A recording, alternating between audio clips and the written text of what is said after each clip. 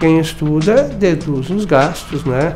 São aqueles gastos é, limitado a R$ 3.561,50 por, no caso, na declaração toda, né, o titular tem o mesmo valor, dependente também. Importante dizer que esse limite é individual e se um pagou mais e o outro pagou menos, tem que respeitar o que pagou menos é até aquele valor e o outro obedece esse limite R$ 3.561,70.